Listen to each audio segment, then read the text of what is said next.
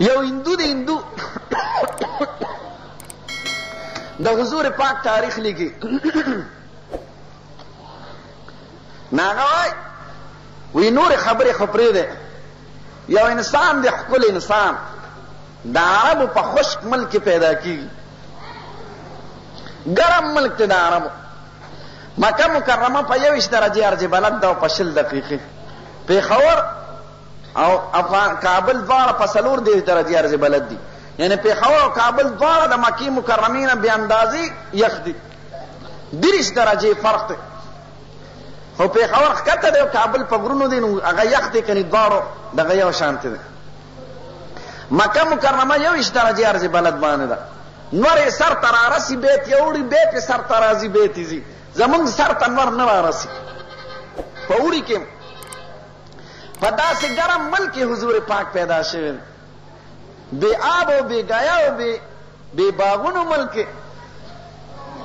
به درې پنځوس کاله دی هم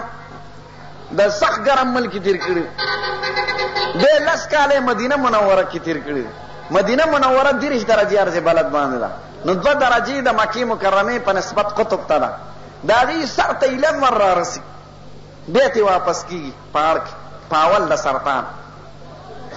خو داسې ګرم ملک یو انسان پیدا کېږي چې هغې کې سکولونه نشته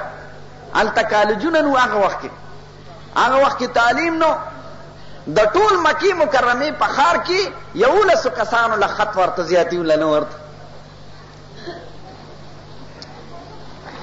هغه وخت کې مواصلات نو اخبارات نو ریډوګان دا خو ټولو سره اړل وی دا انسان په داسې لرې ملک کې د دنیا د ټولو اطرافو نه لرې یو صحرا کې پیدا کیږي او یو ښکلی جماعت جوړی او په لږو ورځو کې کابل، زمونږ هندوستان د چین آخري دیواله پورې دا خپل پیغام را رسوي او انډونیشیا او ملیشیا ته اسلام رسوي، که دا د دې پیغمبر د حقانیت یو لویه معجزه نه او یو لویه نښه او دلیل نه نو وایي دلیل وایي څه ته اخر؟